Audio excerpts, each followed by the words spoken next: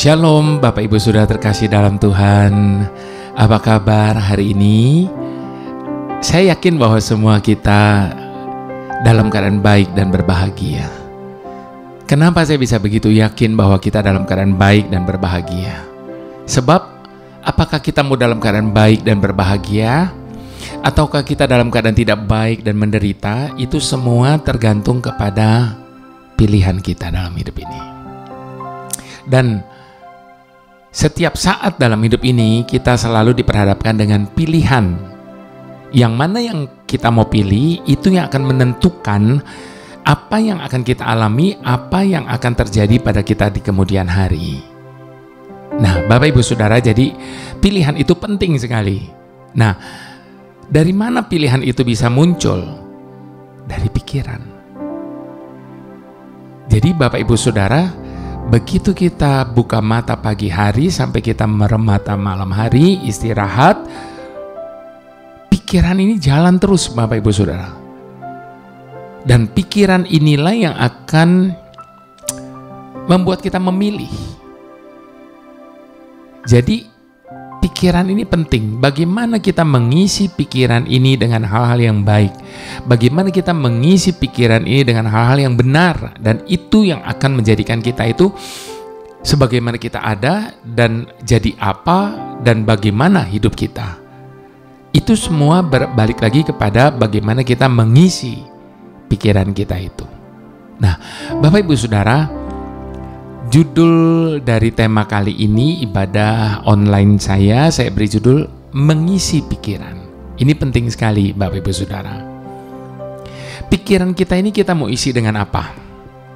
Kalau kita mau mengisinya dengan hal-hal yang benar, maka saya percaya bahwa apa pun yang kita buat, apa pun yang kita kerjakan dalam hidup ini pasti itu yang benar.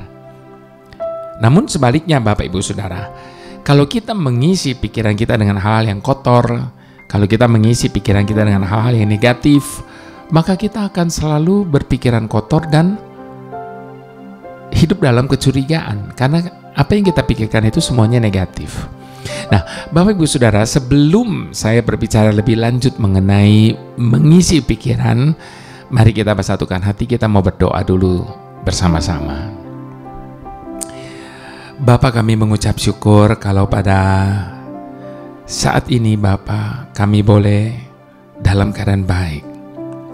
Apa pun keadaan kami saat ini, kami katakan kami dalam keadaan yang baik. Karena kami mempunyai Bapa yang sangat baik. Sehingga apa pun yang terjadi dalam hidup kami dan bagaimanapun situasi hidup kami hari ini, kami percaya itu bergantung bagaimana cara kami berpikir dan satu hal yang kami imani Bapa bahwa apa pun yang kami pikirkan sesuai dengan firman Tuhan katakan hanya yang baik, yang manis, yang sedap didengar dan segala sesuatunya. Biarlah itu yang menjadi bahan pemikiran kami. Terima kasih Bapa. Kami mau mendengarkan apa yang menjadi kehendakmu bagi setiap kami dalam ibadah online ini. Berbicaralah kepada setiap kami Tuhan dalam nama Yesus. Haleluya. Amin. Baik kita buka Mazmur 119 Bapak Ibu Saudara ayat yang 97 sampai ayat yang ke-112. Betapa ku cintai Tauratmu, aku merenungkannya sepanjang hari. Perintahmu membuat aku lebih bijaksana daripada musuh-musuhku sebab selama-lamanya itu ada padaku. Aku lebih berakal budi daripada semua pengajarku, sebab peringatan-peringatanmu ku renungkan. Aku lebih mengerti daripada orang-orang tua, sebab aku memegang titah-titahmu. Terhadap segala jalan kejahatan aku menahan kakiku, supaya aku berpegang pada firmanmu. Aku tidak menyimpang dari hukum-hukummu, sebab engkaulah yang mengajar aku. Betapa manisnya janjimu itu bagi langit-langitku, lebih daripada madu bagi mulutku. Aku beroleh pengertian dari titah-titahmu, itulah sebabnya aku benci segala jalan dusta. Firmanmu itu pelita bagi kakiku dan terang bagi jalanku. Aku telah bersumpah dan aku akan menepatinya untuk berpegang pada hukum-hukummu yang adil. Aku sangat tertindas, ya Tuhan, hidupkanlah aku sesuai dengan firman-Mu. Kiranya persembahan sukarela yang berupa puji-pujian berkenan kepadamu, ya Tuhan. Dan ajarkanlah hukum-hukummu kepadaku. Aku selalu mempertaruhkan nyawaku, namun Tauratmu tidak kulupakan. Orang-orang fasik telah memasang jerat terhadap aku, tetapi aku tidak sesat dari titah-titahmu. Peringatan-peringatanmu adalah milik pusakaku untuk selama-lamanya, sebab semuanya itu kegirangan hatiku. Telah kucondongkan hatiku untuk melakukan ketetapan-ketetapanmu untuk selama-lamanya, sampai saat akhir.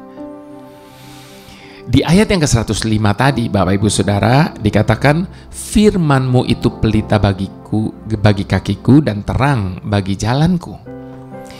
Bapak Ibu Saudara, pernahkah kita mendengar orang menyebut suatu benda dengan nama sebuah merek saja tapi itu uh, mencakup semua benda yang sejenis dengan merek itu. Misalnya, Aqua. Kadang tidak peduli merek apa pun, maka semua orang menyebutnya Aqua. Padahal yang datang bukan merek itu. Tetapi orang sudah memahami, mengerti bahwa oh, air kemasan. Begitu juga dengan Indomie, Bapak Ibu Saudara Kadang orang tidak peduli yang dibeli mereknya apa, tapi tetap saja ketika ditanya beli apa, beli Indomie. Makan apa? Indomie. Padahal yang dimakan bukan merek Indomie mungkin, tetapi yang diucapkan tetap merek itu. Rinso, Bapak Ibu Saudara, ketika kita berbicara tentang cucian, ingatan kita akan selalu kepada merek itu. Padahal belum tentu yang kita pakai di rumah merek itu tetapi tetap saja kita menyebutnya mencuci itu dengan rinso. Begitu juga dengan uh, sabun cuci untuk piring dan sebagainya, maka langsung semua kita akan teringat kepada sunlight. Padahal sering kali kita pakai berbagai macam merek, tapi tetap aja kita image-nya tetap sunlight. Jadi image-nya sudah ke sana terlebih dahulu. Dan tentunya masih banyak hal-hal lain yang langsung disebutnya dengan merek yang sudah melekat di pikiran setiap konsumen yang ada. Segala sesuatu yang sudah terlanjur terpatri dalam otak kita, maka pasti akan sulit untuk diubah lagi paling tidak dibutuhkan waktu dan konsentrasi yang lebih lagi. Sekalipun pada akhirnya kita mengetahui, Bapak Ibu Saudara, bahwa apa yang kita pahami itu ternyata salah. Sebab pemahaman yang terpatri di dalam otak kita tidak tertanam dalam waktu yang singkat, melainkan karena waktu yang begitu lama sehingga sudah meng akar di pikiran kita dalam waktu yang cukup lama tersebut dan tentunya berulang-ulang. Nah, begitu juga banyak hal yang terjadi dalam bidang kerohanian, Bapak Ibu Saudara, sehingga banyak terjadi kekeliruan istilah dalam kekristenan. Misalnya, masalah selalu diartikan sebagai hal yang buruk yang sangat ditakuti. Sebab itu bisa menghancurkan. Sehingga setiap kita menjadi begitu paranoid ketika kita mendengar kata masalah ini. Padahal masalah tidak selamanya identik dengan keburukan. Namun masalah juga bisa menjadi suatu yang positif.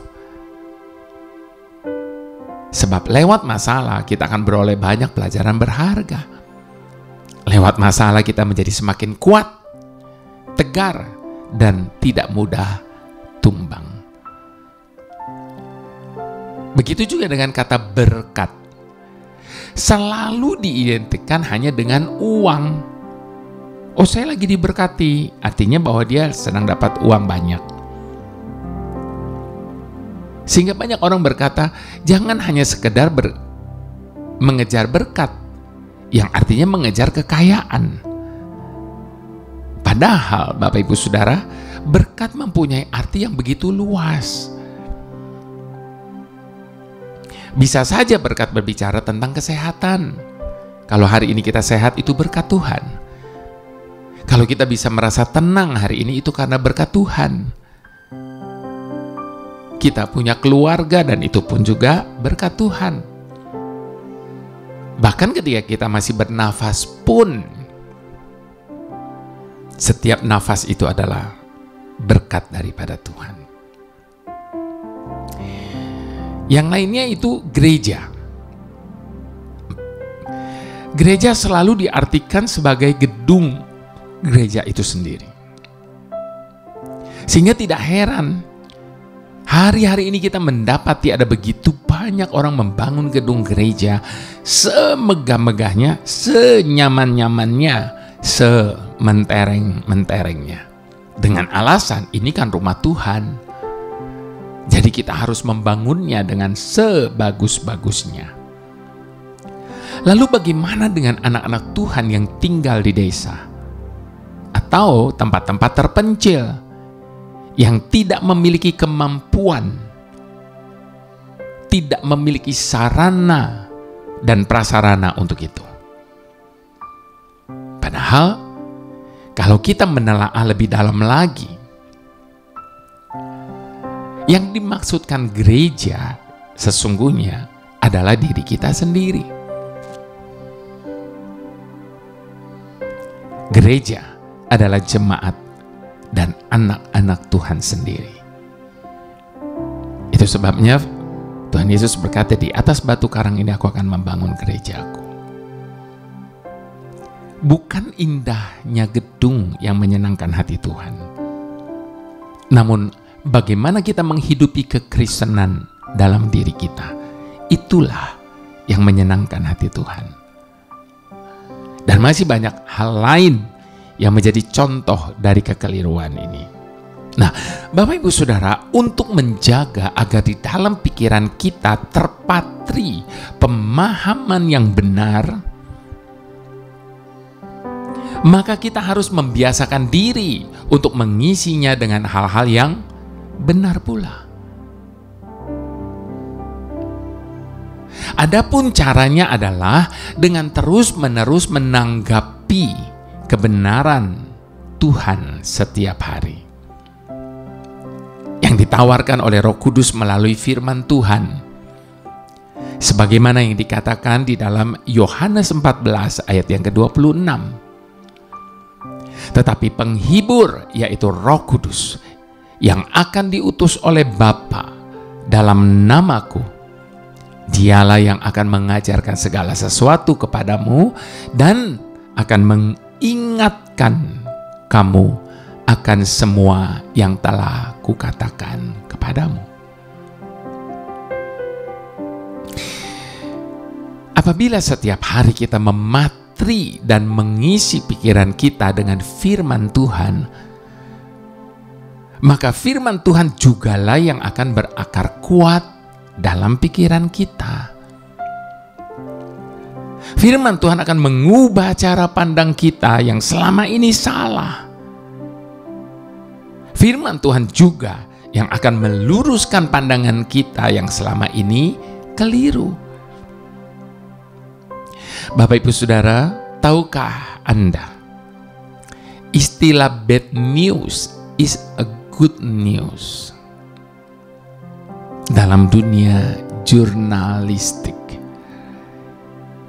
Ya, bukankah berita-berita negatif selalu menarik animo masyarakat untuk membaca dan mengikutinya? Sebab banyak orang yang menyukai segala sesuatu yang bombastis, heboh, fenomenal, dan lain dari yang lain.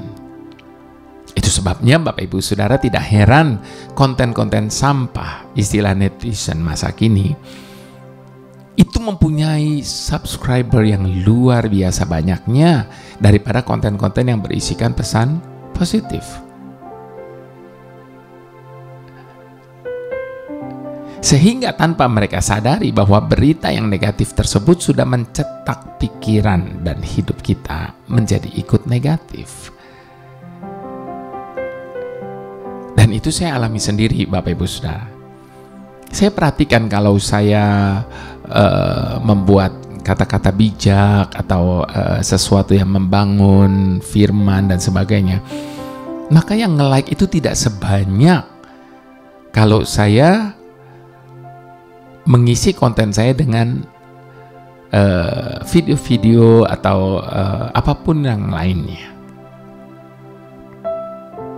Kadang-kadang makanan dan sebagainya, Bapak Ibu Saudara.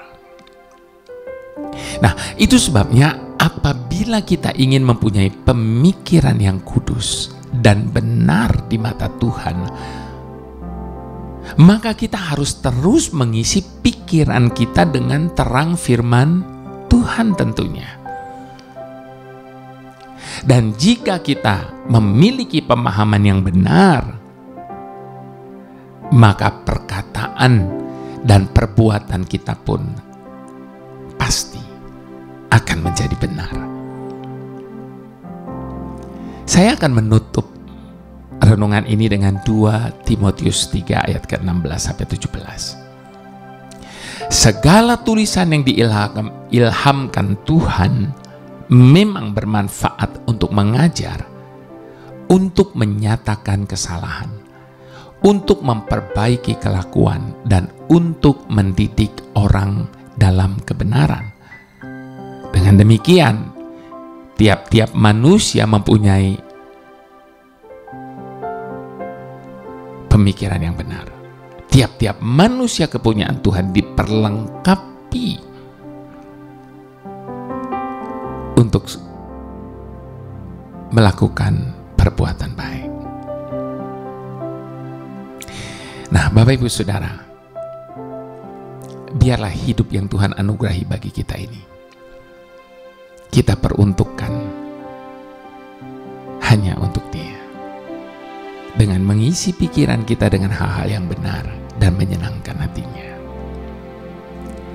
Yesus kau kebenaran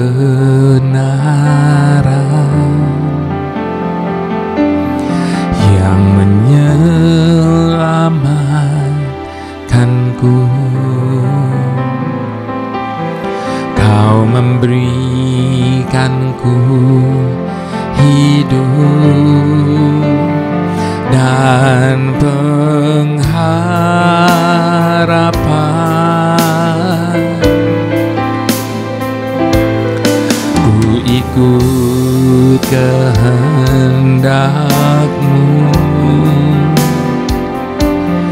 Ku perlu anugerahmu.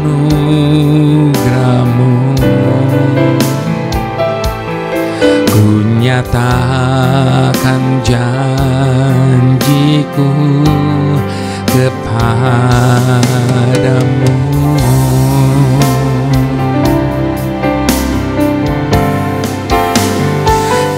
kalau ku hidup ku hidup bagimu hatiku tetap tetap menyembahmu. Dunia tak bisa menjauhkanku dari kasihmu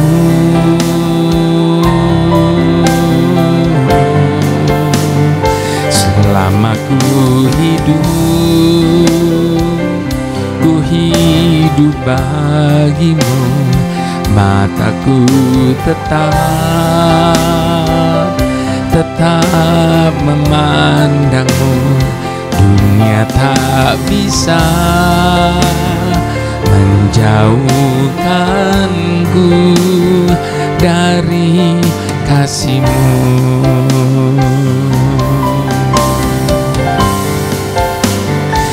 Kalau ku hidup Ku hidup bagimu Hatiku tetap Tetap menyembahmu. Dunia tak bisa Menjauhkanku dari kasihmu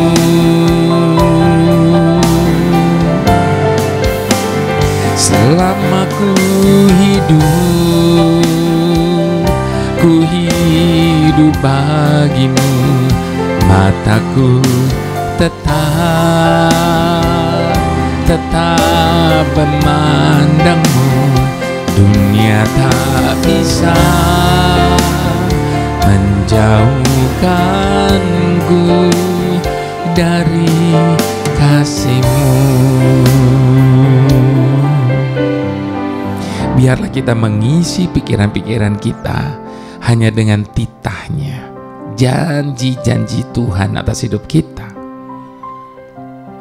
Sehingga hal itu membuat kita dijauhkan daripada apa yang dunia tawarkan bagi kita Sebab dunia tidak akan pernah bisa menjauhkan kita dari kasih Tuhan ketika kita mengisi pikiran-pikiran kita ini dengan hal-hal yang benar, hal-hal yang kudus. Itu sebabnya Bapak Ibu Saudara, biarlah selama kita hidup, biarlah kita hidup hanya bagi Tuhan. Dan biarlah mata kita terus memandangnya.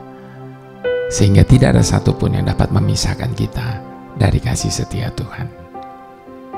Mari sekali lagi sama-sama kita mau katakan Yesus kau kebenaran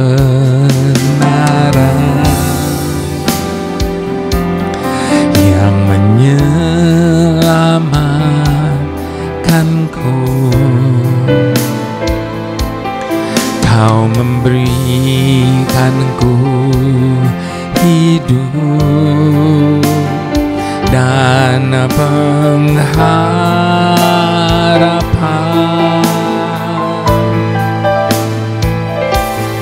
Ku ikut kehendakmu.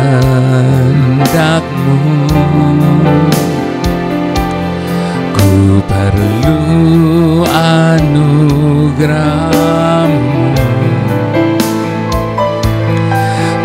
Nyatakan janjiku kepadamu.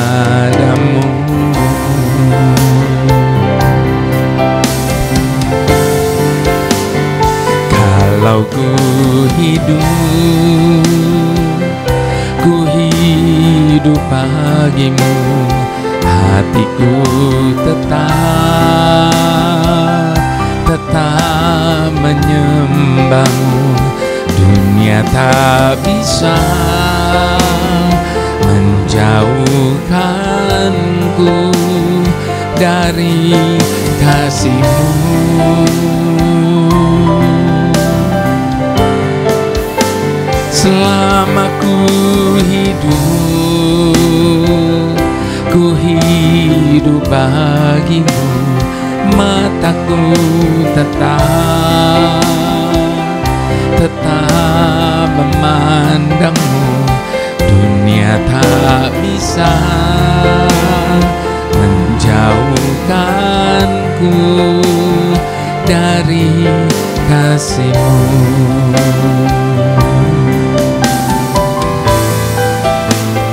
Dunia tak bisa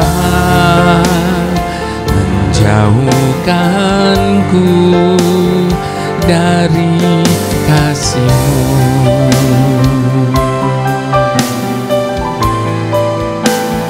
Dunia tak bisa menjauhkanku dari kasihmu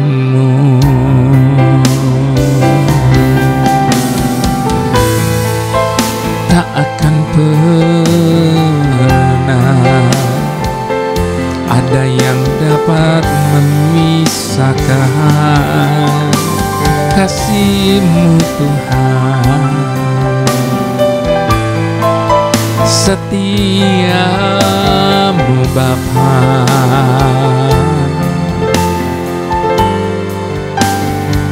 kami percaya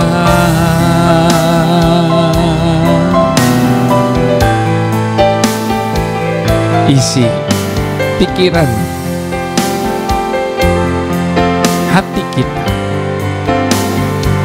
hanya dengan apa yang Tuhan sudah katakan bagi kita. Maka itu akan terpatri. Maka itu akan melekat dan berkuasa atas hidup setiap kita. Itu sebabnya sekali lagi arahkan hati dan pikiran kita hanya kepada kebenarannya.